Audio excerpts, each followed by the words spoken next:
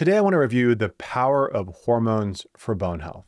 We're going to go over the three primary sex hormones in women estrogen, progesterone, and testosterone. I want to show you just how much evidence there is for the use of HRT for bones. I want to walk you through the biggest hitters and talk about, of course, some of the concerns around HRT. So stick around this is going to be a really fun one. All right, sorry to interrupt this video, but I want to take a moment and talk about this product by 4Well. It's specifically a product utilizing DHEA, saw palmetto, and collagen all together in one. And the reason why I want to talk about this is that you may have heard me discuss DHEA for bone health. In the videos that I did on this topic, DHEA is an interesting prohormone that's available over the counter, and it has been studied for bone, but only in what I think are relatively big doses. So 50 milligrams for women and 100 milligrams for men. The challenge here is that if you use these doses of DHEA alone, clinically, what we saw is that women were complaining about oily skin, acne, and potentially even hair loss. So we backed that down and now in our clinical practice use doses between 5 and 20 milligrams. But there are ways to utilize larger doses and potentially even have a positive impact on your hair.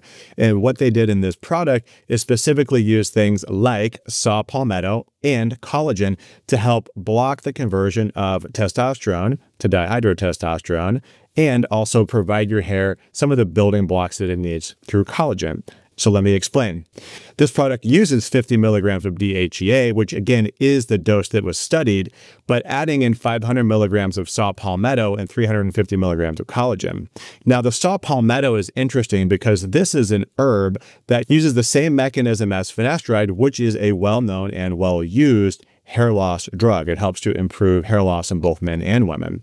Now, this enzyme is responsible for the conversion of testosterone to the more active androgenic form dihydrotestosterone, particularly in the periphery, meaning in the skin.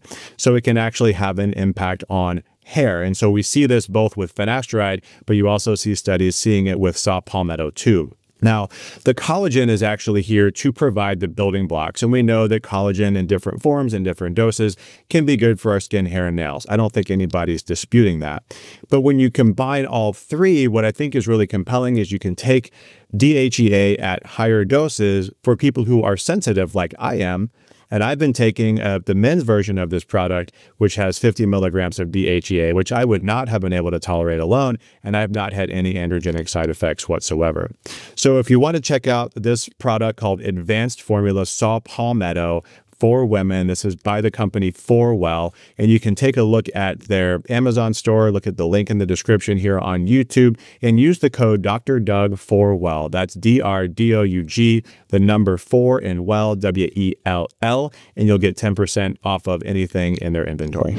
Let's start with the estrogen controversy. So, estrogen is the most controversial of the three hormones, which is actually saying a lot. And there is, of course, fear around estrogen and breast cancer and other estrogen receptor positive cancers. There's fear around estrogen and blood clots and heart disease and stroke and dementia. There's so much controversy around is it good for heart disease? Is it good for dementia prevention? And can you use it for those things? What about as a tool for actually treating breast cancer? There's so much evidence to review. But here's what I want to talk about, which is that estradiol is actually FDA approved to support osteoporosis osteoporosis to treat a diagnosis of osteoporosis. The other hormones are not, but of course we would use them in tandem. But what I want to talk about is the evidence to support the use of estradiol specifically for bone health because it is abundant. And I think that most doctors who look at hormone literature don't see as much of the bone literature because they're not looking at the osteoporosis literature. If they're looking at osteoporosis and they're looking at bone health literature, you would see this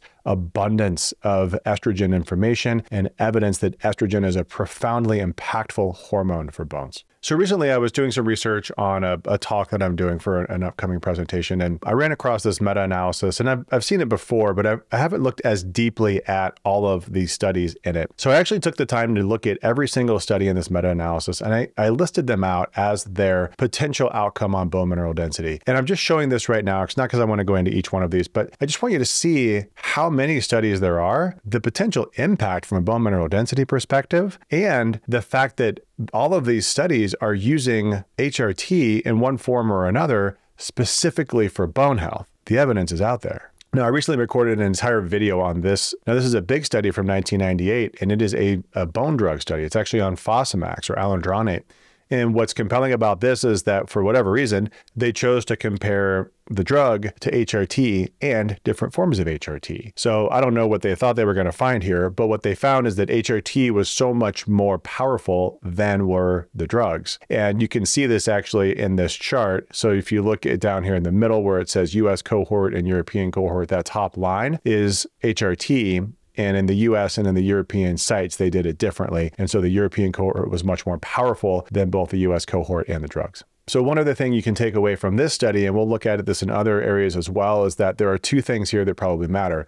One is the European cohort used higher doses of estradiol than the US cohort, and they also used a rhythmic style of dosing, meaning that they were actually cycling estrogen and progesterone alternatively, which would result in either breakthrough bleeding or an actual menstrual cycle. But you can see the power of that style of dosing and rhythm versus the static dosing in the US. Now, this third study is a study I've wanted to find for a long time, and I was floored when I actually found it. This is a study looking at a dose response or different doses of estradiol compared to outcomes in bone mineral density. So basically, what they did is looked at three different levels and watched this over time.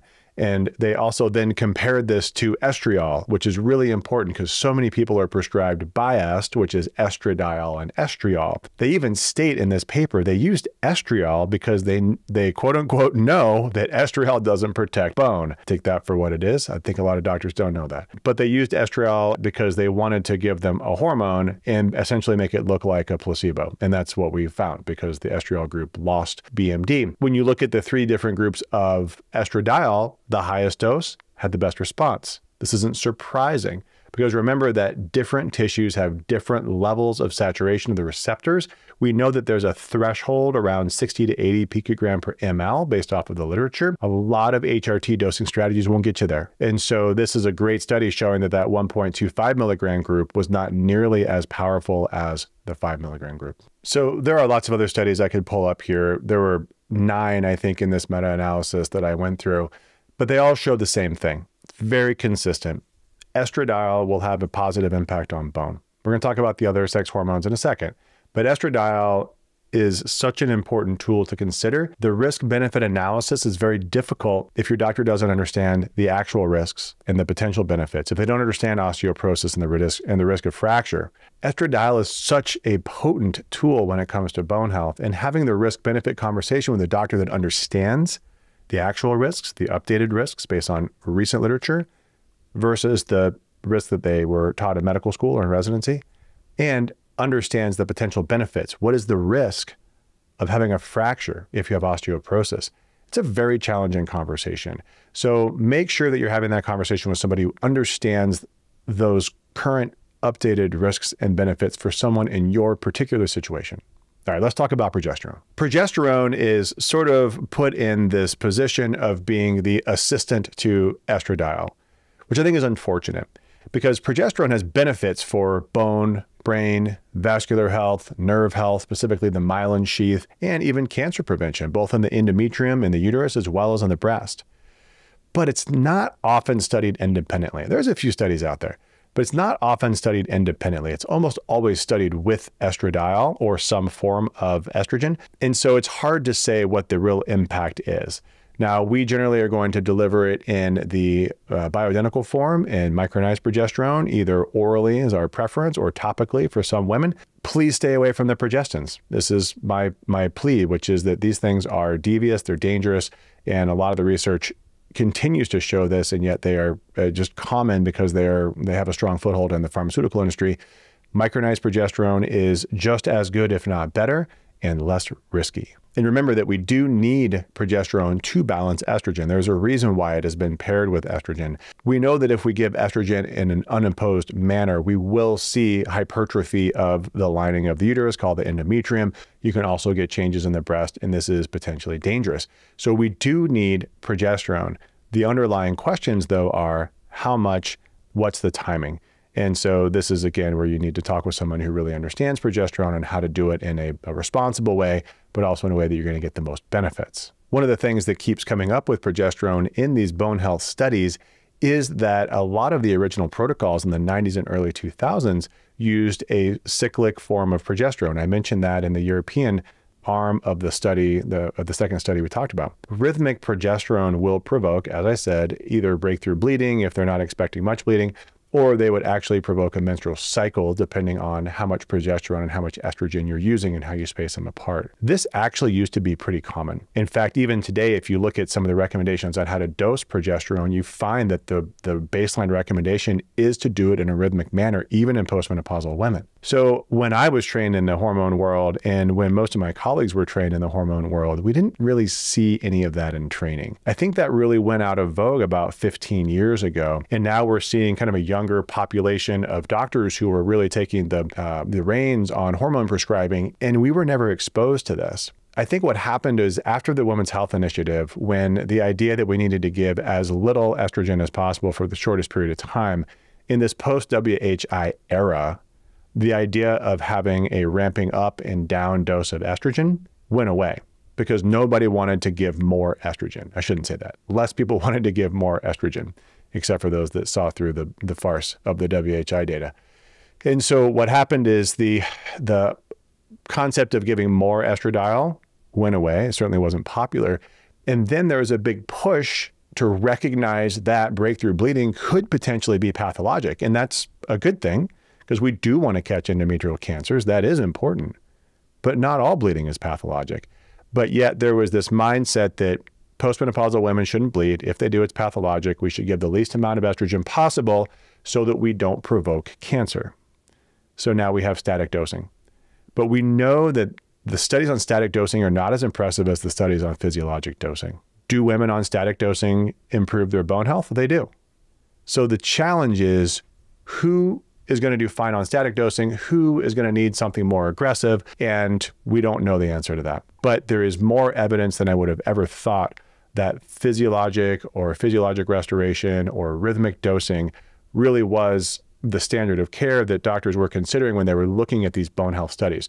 There are more studies that have rhythmic dosing than static dosing when you go back to the early 2000s in 1990s. All right, so let's talk about androgens. So by androgens, I mean those hormones that are androgenic. They will provoke being anabolic.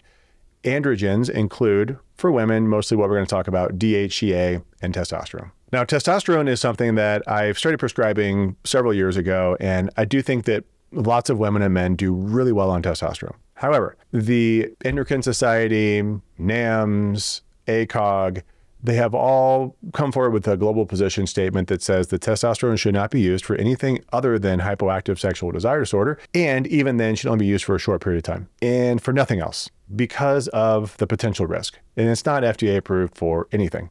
So that kind of makes testosterone difficult, especially in the telehealth world, where the DEA is really cracking down in certain states on testosterone availability through telehealth still available locally, brick and mortars. I don't think that's going to go away. But those organizations really don't like testosterone. The government really doesn't like testosterone, or at least it seems that way. So then we should look at some alternatives. But ultimately, the decision is who needs testosterone versus who needs the alternatives and how do you decide? And again, this is a case by case basis. But let me walk you through some of the alternatives to testosterone, and then we'll talk about some of the literature in testosterone. Now, I'm not going to go into this in a lot of depth, but I want you to understand that women have the capacity to produce testosterone in the adrenal glands from precursors for testosterone made in the adrenal glands in the periphery of the body, elsewhere in the body. They produce more testosterone in those locations than they do in their ovaries, so that after menopause, they can still produce testosterone, which is pretty smart. Now, if you have adrenal dysfunction as a woman, meaning you have high levels of stress, high cortisol, likely you're not making enough DHEA. If you're not making enough DHEA, you're not going to have enough testosterone. We see it all the time. Really common in osteoporosis. Fortunately, DHEA is cheap and easy and over the counter in the US and can be added. There's a bunch of studies that show the benefits of DHEA. In fact, I have like six of them that I just reviewed today. The average increase in testosterone was somewhere around 17 and a half up to 30 and 40 nanogram per deciliter higher than baseline. So DHEA really can increase testosterone and may have a different risk profile or side effect profile than testosterone for a lot of women. Now, DHEA has actually been studied specifically for bone health, and it does turn out that DHEA supplementation can increase bone mineral density and IGF 1, which you'll hear me talk about a lot. So it really can act as an androgen it's going to be variable and it's not going to be as powerful as testosterone, but it may be better tolerated, certainly is easier to access. All right, so what about testosterone? Well, when I started learning about testosterone, I learned about it as something that was delivered as a pellet. And I thought that the locations that were doing pellets were delivering way too much testosterone. And my bias is that I see people who are not doing well from other providers, sort of like the go to guy for my hormones aren't working. And so I saw people coming to me with crazy high levels of testosterone, hair falling out, totally upset. And that's my concern around pellets. So my initial exposure to testosterone, not super positive. But what I've learned is that responsible prescribing of testosterone, usually done through a cream, potentially through an injection if someone wants to avoid cream, can be done at doses that are physiologic, not super physiologic, and can provide a lot of benefit. So, one study that shows this in specifically in women, which is pretty rare, is a study that's looking at estrogen or estrogen plus testosterone. Now, it's interesting. I mentioned earlier that most of the studies on bone health and hormones are using cyclic progesterone, and this one does too. So they're using cyclic progesterone, and then the two groups are estrogen or estrogen and testosterone. Now, ironically, these actually were done with pellets, but take that for what it is. The testosterone group far outperformed the estrogen group. And unfortunately, they didn't actually share the numbers. They have a graph in here, and you can see that it's better and it's statistically significant, but you don't actually see the increase in BMD, which is really frustrating that they wouldn't publish that. Um, so we don't know how much it was, but we know that it was statistically significant and that it was better than estrogen alone. So adding androgens helps with bone, and that makes sense. There's another study, this one's in men, but this is a meta analysis that I pulled for this talk because they looked at over 1,100 men. That was a lot. They looked at testosterone replacement in men, and it did increase BMD at six months and in most studies at 12 months. But I said most studies because not all studies. And so some men saw an increase and then they saw a decline. Now, when you look at these studies and you look at all studies on testosterone in men, I have a beef with researchers in testosterone, which is that they don't use enough testosterone. They barely increased levels of testosterone in these men. And so it's not surprising that we don't see much of a change. I see so many studies on testosterone where they say, oh, there was no difference. But they took their levels from like 250 to 300. Well, yeah, they still have low testosterone. They need more testosterone when we replace testosterone, we are going to replace it to a level at which men looked and felt their best. We're not going super physiologic, but we're not going to stay at 300 or 400 total testosterone we need to get their free testosterone well into the double digits, and that takes more total testosterone. So, a lot of the studies are just underutilizing testosterone, and of course, we're not going to see significant benefits that way. Now, when we talk about any drug, there's always the potential for side effects. And one of the good things about all of the HSDD or hypoactive sexual desire disorder research on testosterone in women is that we do have enough evidence to say what the potential risks could be. These are not huge, but relatively big studies. So, what I can say is that there is a risk of quote unquote androgenic side effects, hair growth, hair loss, oily skin, acne. But the big fear that a lot of doctors have is man, what's testosterone going to do to my risk of breast cancer? As a woman, what's it going to do to any other metabolic issues, cholesterol levels, heart disease risk, etc.? And I think what we can clearly see from evidence in women is that testosterone is protective of breast cancer, so we can cross that one off the list. But more importantly, from a cardiovascular perspective, testosterone does not seem to increase the risk of plaque development and events. And this is really critical because this is more commonly in men, but this is viewed as a risk factor for heart disease, meaning that if someone's on testosterone, they're at higher risk. And that's not true. In fact, having low testosterone is a risk factor for heart disease and heart attack. So we really need to balance these hormones and consider where they could be used for everything, including bone. So, in conclusion, I want you to understand that hormone replacement therapy is a really powerful tool. You have to have the conversation with the right person who understands the risk benefit and where you are in your bone health journey. Best guessing what is your fracture risk and does it make sense to challenge some of the traditional dogma around who shouldn't be on hormone replacement therapy because the risk benefit equation for you may make sense, even though you may not fit in the little beautiful box that is the perfect person for hormone replacement therapy. So that's it for today. I'll see you on the next video.